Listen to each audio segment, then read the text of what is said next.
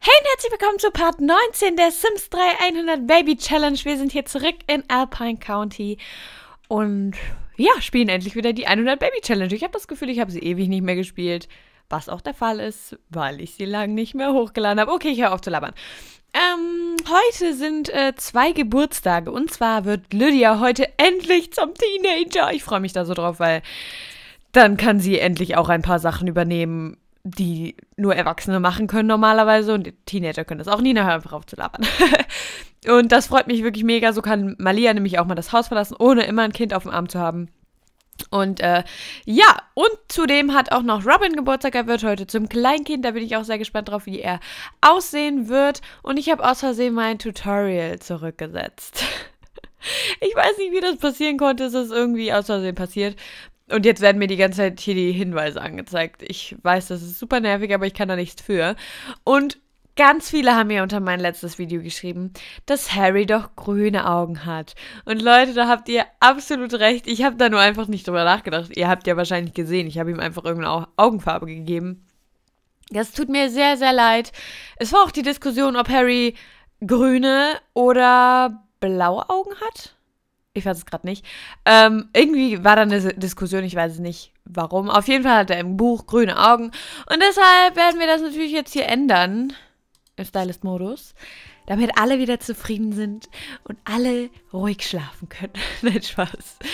Ähm, ich weiß noch gar nicht, was wir heute alles vorhaben. Auf jeden Fall müssen wir halt Geburtstag feiern, weil wir einen erinnerungswürdigen Tag hier erleben. Nein, die Haare möchte ich nicht ändern, die können so bleiben, auch wenn viele die Frisur nicht so toll fanden.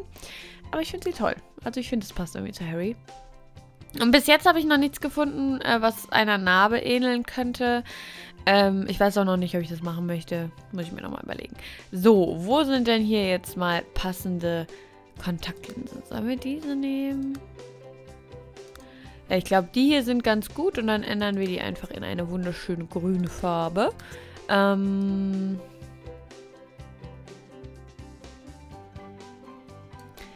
So. Und dann vielleicht... Ich finde die Augenfarben äh, zu erstellen immer so schwierig, weil es sieht nie so aus, wie man sich das wünscht. Aber so ist schon gut. Jetzt hat er wunderschöne grüne Augen. Lassen wir es jetzt einfach mal so. Und äh, dann können wir jetzt weiter starten ins Let's Play. Viele haben sich schon gefragt, wann kommt endlich wieder eine Folge 100 Baby Challenge gestern, als ich die Supernatural-Folge hochgeladen habe. Ich weiß nicht, ob ihr es schon gemerkt habt, aber meine Parts kommen immer abwechselnd. Also es kommt immer eine Folge Supernatural, eine Lebensfreude, eine 100 Baby Challenge oder halt in anderer Reihenfolge. Auf jeden Fall kommen die immer abwechselnd, damit alle zufrieden sind. So, äh, hier geht schon wieder heiß her. Robin ist am Heulen. Harry hat Hunger, deshalb kann er sich hier dann schon mal ein paar Waffeln nehmen. Zum Glück haben wir noch welche im Kühlschrank. Oh, Robin hat sich eingekackt, braucht Aufmerksamkeit und ganz viel Liebe. Ähm, gib ihm mal eine frische Windel. Dann können wir ihm die Flasche geben. Dann kuscheln wir noch ein bisschen und spielen mit ihm. Und yes, ist der Rest der Crew schon wach? Naja, die schlafen noch, das ist gar nicht schlimm. Caleb schläft hier in seinem Roboter-Modus, warum auch immer, aber pff, und träumt von Radioaktivität. Das äh, ist auch mal das, wovon ich träume. Hier sieht's aus wie im Saustall, ne? Lydia hat Geburtstag, juhu! Und Robin hat Geburtstag, wie aufregend. Ähm, ich bin echt am überlegen, wie wir das jetzt machen sollen. Ich möchte eigentlich echt umziehen und ich weiß aber nicht, ob ich in eine neue Stadt umziehen soll oder nicht. Und äh, ich weiß es nicht, ich weiß es nicht. Schreibt mir bitte in die Kommentare, was ihr machen würdet. Also ich kann euch ja mal sagen, welche Städte ich habe. Ich habe alle Städte, die es von den Erweiterungspacks gibt. Dann habe ich als Custom Content Stadt äh, Alpine County, Meadow Glen und Evansdale County. Evansdale County würde ich aber nicht so gern spielen, weil da spiele ich ja mit der Lebensfreude-Familie. Ähm, und dann habe ich noch Hidden Springs aus dem Shop und also aus dem Sims 3 Store und Monte Vista habe ich auch noch aus dem Store. Äh, also könnt ihr mir vielleicht nochmal in die Kommentare schreiben, was ihr machen würdet, wo wir hinziehen sollen und äh, jo. Okidoki, Antishoki. Jetzt ist Lydia auch aufgewacht, das ist gut. Dann kann sie jetzt hier auch mal duschen gehen und sich einen kleinen Snacky gönnen. Und zwar nimmt sie auch mal Waffeln. Harry muss mal hier kurz die Teller aufräumen. Was wolltest du machen? Mit deiner Mutter tratschen. Das äh, geht jetzt gerade nicht. Äh, das macht Caleb jetzt mal. Nein, Malia hat keinen Bock. Malia läuft einfach ihm weg. Naja, egal. Äh, vielleicht kann ja gleich mal hier jemand die ganzen Sachen von äh, Bella weg. Ach nee, heißt die, wie heißt die Lady? Wieso sage ich immer Bella? Oh Mann, du nervst auf.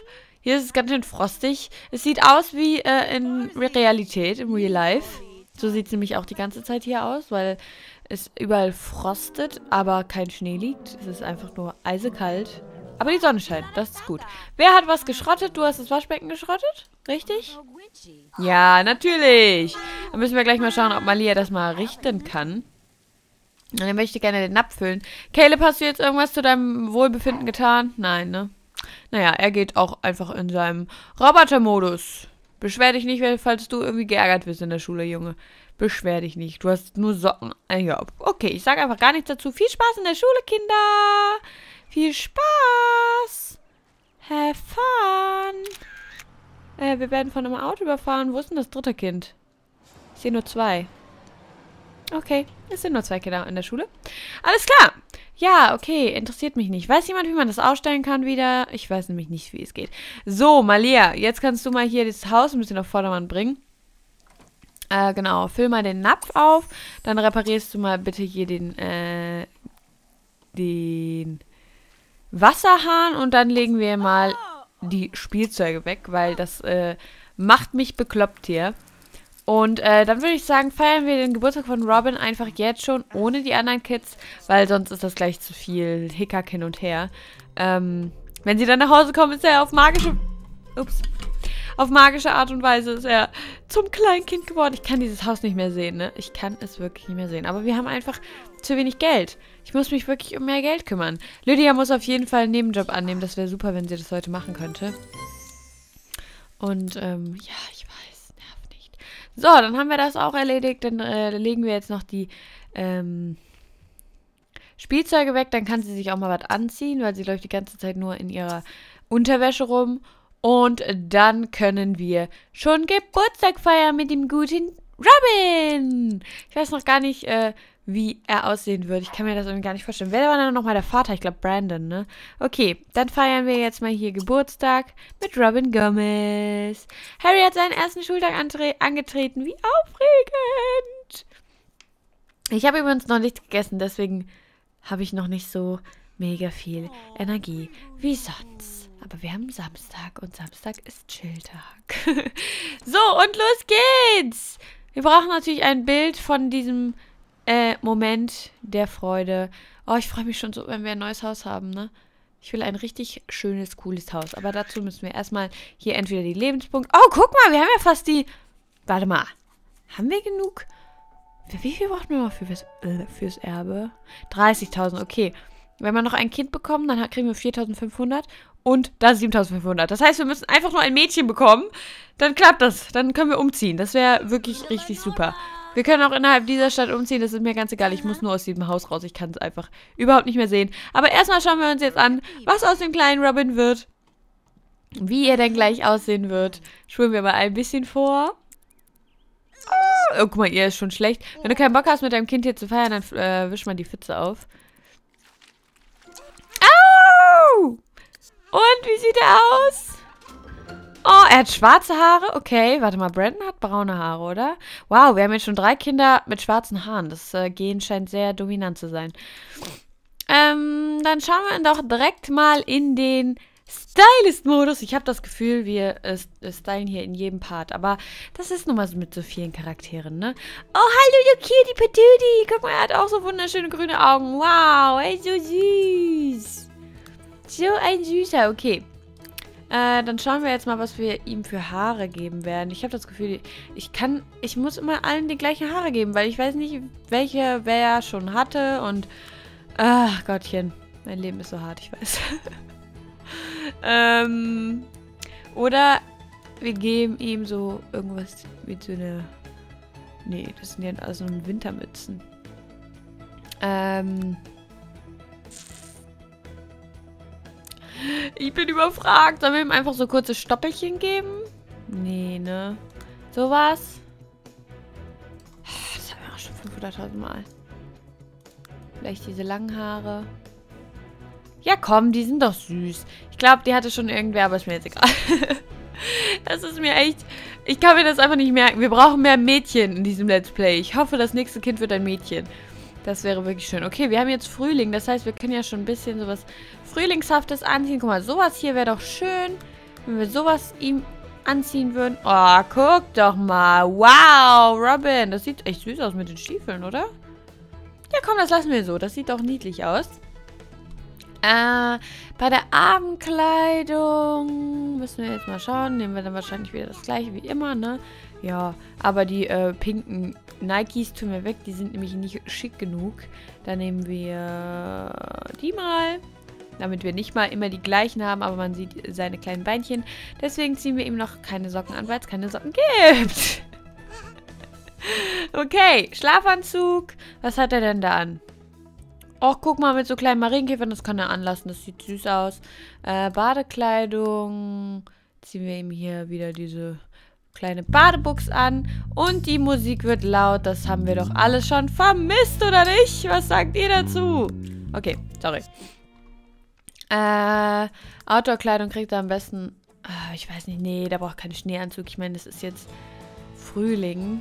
Da können wir ihm hier so eine, so eine süße Schweinchenjacke anziehen. Ich weiß nicht, was seine Lieblingsfarbe ist, aber ich tue jetzt einfach mal so, als wenn es rot wäre. Äh, ja, die Hose kann er eigentlich dabei anbehalten. Schuhe.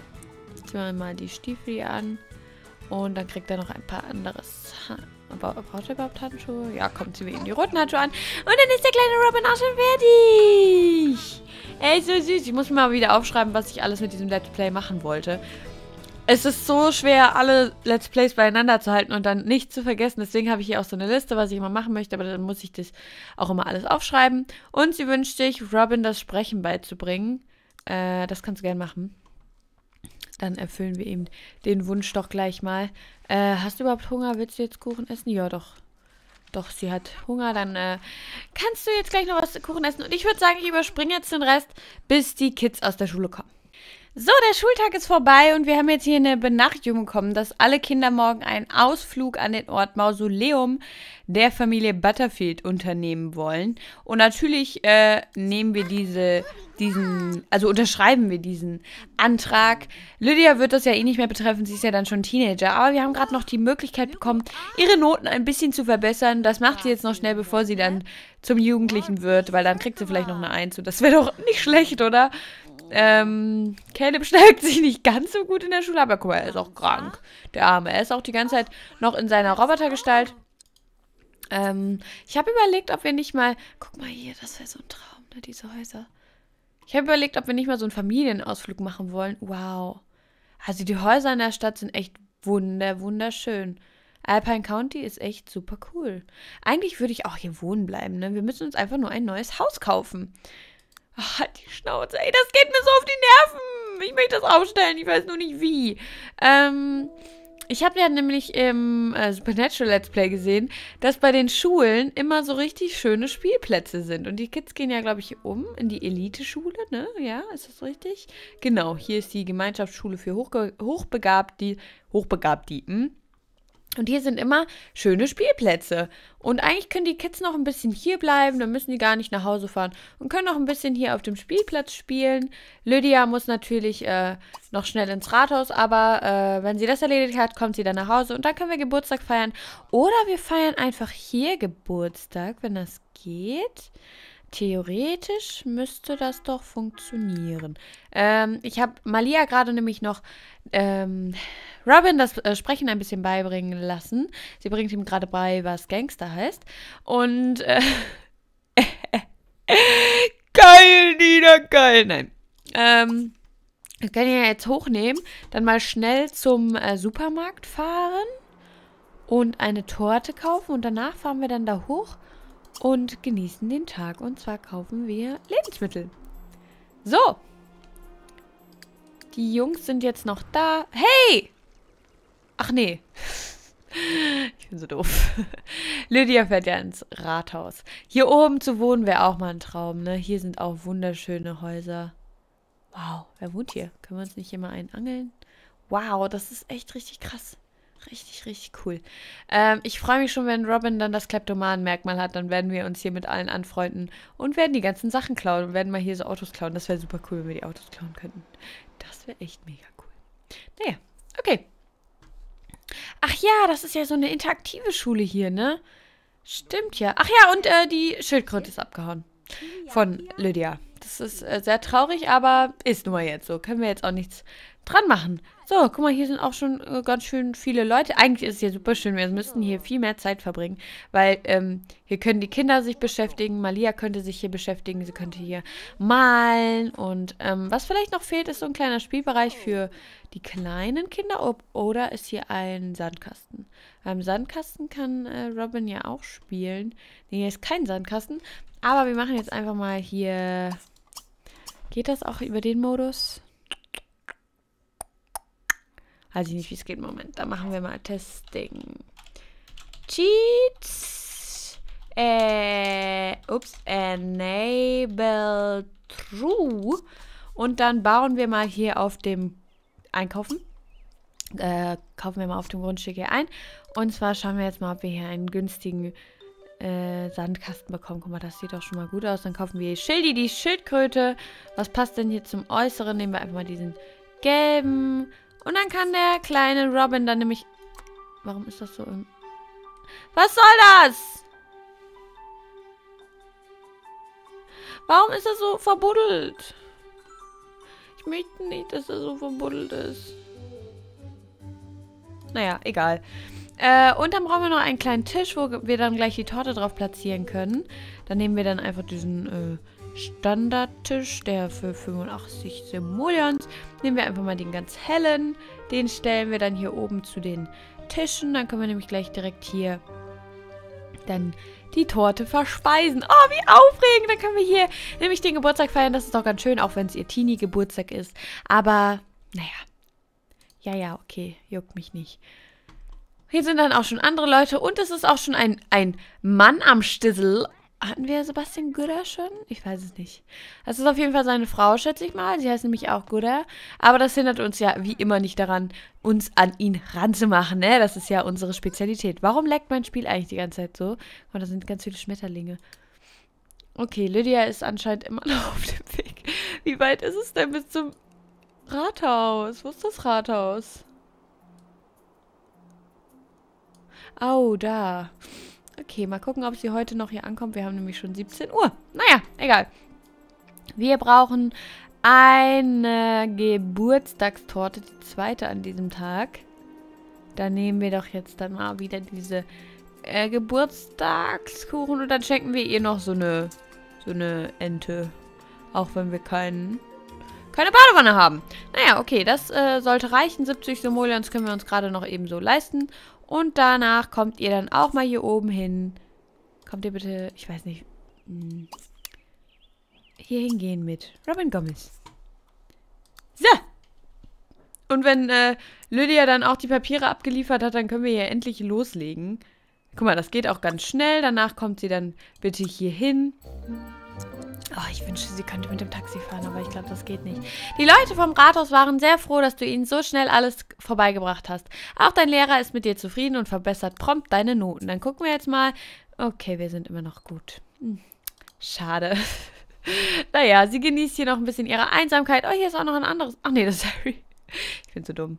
Er will seine Hausaufgaben machen. Ja gut, wenn du lieber Hausaufgaben machen willst, als hier ein bisschen zu spielen, mach das. Warum ist es denn jetzt schon so dunkel? Ich wollte, dass wir hier im Hellen noch Geburtstag feiern können. Naja, egal. Da kommt die Mutter schon angedüst. Und äh, Lydia braucht noch ein bisschen länger, schätze ich. Ähm, warum gehst du jetzt zu Fuß? Oh nein, fährt sie wieder, fährt sie wieder U-Bahn? Ja, sie fährt natürlich wieder U-Bahn.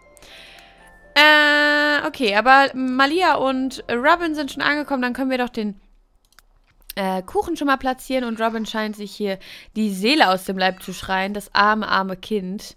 Wo ist denn jetzt der Tisch? Da. Da ist der Tisch. Dann platzieren wir doch mal den Kuchen da drauf und warten auf Lydia. Er macht da drin sein Haus. Oh, guckt ihn euch an. Das ist so süß. Richtiger Harry. Okay, eher so eine Hermine, aber... Oh. Okay, was macht Caleb? Er ist am Schaukeln. Das ist auch so cute. Machen wir auch mal ein schönes Bild von ihm, während wie er hier am Schaukeln ist. Im Mondschein. Weil wir einfach so gute Eltern sind, dass er hier mitten in der Nacht noch auf dem Spielplatz ist. Ah, so cute, so cute. Okay, bist du jetzt mal da, Madame? Oh ja, sie kommt immer näher. Gleich ist sie da. Das wäre wirklich sehr toll. Wer wohnt denn da? Oh, Familie Best. Haben wir uns die auch schon geklärt? Ich weiß es nicht. Ich weiß es nicht, ich weiß es nicht. Eigentlich müsste mir das auch mal aufschreiben, wen wir hier schon als Fuddy hatten. Oh nein, sie wollte mit der Schildkröte spielen, jetzt ist sie aber abgehauen. Tut mir leid, wir müssen den Wunsch leider entfernen. So, sie ist endlich da. Das Geburtstagskind ist da, Freunde der Sonne. Wir können endlich Geburtstag feiern. Das Handy deines Sims klingelt. Aha, interessant. Wer hat uns dann angerufen? Brandon! Nein, danke. Wir feiern jetzt Geburtstag von unserem Kind. Äh, Lydia Gomez hat Geburtstag. Kommt alle her. Bitte. Feiert mit. Fremde Leute. Ihr könnt gerne mitfeiern. Ähm, Harry, komm, wir machen jetzt keine Hausaufgaben mehr. Wir feiern jetzt Geburtstag umarmt werden. Oh, Malia, du bist so eine tolle Mutter, auch wenn dein Kind jetzt Geburtstag feiern wollte. Aber hey. Ach, guck mal. Guck mal, da geht's schon los. Robin, komm mal hier rüber. Kannst du mal hier rüber krabbeln und hier im Sandkasten spielen oder so? Komm mal. Hä, was? Kann er nicht im Sandkasten spielen? Ich dachte, er kann im Sandkasten spielen. Uh, da drüben sind Glühwürmchen. Hallo, Glühwürmchen. Wie cool. Ich bin mal wieder so leicht abgelenkt. Juhu! Lydia wird zum Teenager. Unser erster Teenager, Leute. Wie aufregend. Wie aufregend. Woohoo! Yay! Bitte lass sie schön sein. Bitte lass sie schön sein. Oh, Aufgrund ihrer eher dürftigen Anstrengungen in der Schule darfst du dir kein Merkmal für Lydia aussuchen. Lydia hat folgendes entwickelt. Virtuosin. Hatte ich mir irgendwas für Lydia aufgeschrieben? Nö, ne? Ja, dann ist das doch gut. Äh, Virtuosin passt gut, weil dann kann sie nämlich auch mal ein paar Nebenjobs annehmen. Und dann schauen wir uns die Gute doch mal an. Oh mein Gott, sie ist so schön. Oh mein Gott. Wow, sie ist wirklich richtig hübsch. Wir warten nochmal ab. Wir schauen sie uns jetzt nochmal genauer an. Oh, sie ist so eine hübsche. Okay, sie braucht definitiv ein paar andere Augenbrauen. Aber wow, warum haben alle Kinder grüne Augen? Außer natürlich Harry. Das habe ich aber dann geändert, ne? War das eigentlich Cheaten, dass ich das geändert habe? Ich weiß nicht. Naja, ich sitze ein bisschen zu weit vom Mikrofon. So, oh nein, jetzt. Oh, ups, mein Mikrofon fällt runter. So. Ähm, erstmal geben wir jetzt andere Augenbrauen, weil die sind mir zu dünn brauche ein bisschen breitere Augenbrauen. Dafür hat sie nämlich zu eine hohe Stirn. Uh, die sind schon mal sehr schön. Die gefallen mir sehr gut an ihr. Äh, die nicht so. Diese auch nicht. Diese auch nicht. Komm, dann nehmen wir einfach diese. Die sind doch super. Das passt sehr gut. Äh, ich brauche, aber sie braucht noch ein paar Wimpern. Aber erstmal noch eine andere Haarfarbe. Oh, ich lasse mich so leicht ablenken. Es tut mir leid. Vielleicht möchte ich ihr sogar die kurzen Haare lassen. Das finde ich eigentlich ganz schön. Ich schaue jetzt erstmal, was ihr, was ihr alles so steht. Das nicht so. Das sieht schon ganz hübsch aus. Das sieht auch sehr schön aus. Ich äh, suche jetzt wieder hier meine ganzen Custom-Content-Frisuren ab. Aber eigentlich könnten wir auch mal probieren, hier so eine, den Nicht-Custom-Content. Aber die sehen alle nicht so hübsch aus. Oh, oh nein, definitiv nicht. Wo ist die Musik? Also entweder sie ist laut oder sie ist gar nicht da. Dieses Spiel verarscht mich einfach. Es verarscht mich von vorne bis hinten. Oder wir geben ihr einfach diesen Haley Harris Zopf. Oh mein Gott, das sieht so cool aus. Oh, ich glaube, der wird's. Ich glaube, der wird's, Leute. Weil ich könnte mir nicht vorstellen, was. Vielleicht sonst noch diese Zöpfchen? Nee. Oder sowas? Nee. Sowas? Nee, auch nicht. Okay, ich glaube dann. Oh, vielleicht noch diese. Moment, die möchte ich noch ausprobieren. Oh, das sieht auch gut aus. Aber diese möchte ich noch ausprobieren. Oh, das sieht auch sehr schön aus. Jetzt bin ich natürlich im Struggle, ne? Jetzt bin ich im Struggle. Ich habe so viele Custom-Content-Frisuren, das ist schrecklich. Die ist auch voll cool, die habe ich neu. Hihihi. Aber die nehmen wir jetzt nicht. Äh, ich glaube, wir nehmen mal die, weil ich habe ja gesagt, wir lassen hier immer die kurzen Haare. Und das sieht cool aus. Ja, das sieht sehr schön aus. Nehmen wir das. Dann kriegt sie jetzt noch ein dezentes Make-up. Sollen wir ihr wirklich Lidschatten geben? Ich meine, ich, ich schmink meine Sims eigentlich nie so mit Lidschatten, ne? Äh, vielleicht so ein leichtes Braun? Sowas? Oh Gott. Schon mal was von Verblenden gehört? äh, lassen wir das mit dem Lidschatten. Das sieht irgendwie immer komisch bei meinen Sims aus. Aber ein paar Wimpern bekommt sie natürlich. Ähm, ja, komm, das sieht doch schon schön aus. Ein bisschen natürliche Wimpern. So ein bisschen Kim Kardashian-Highlight. Warte mal, machen wir jetzt mal ein bisschen transparenter. Nee, das ist zu heftig für sie. Für ihr zartes Gesicht. Vielleicht sowas. Nee, das ist alles, alles zu heavy.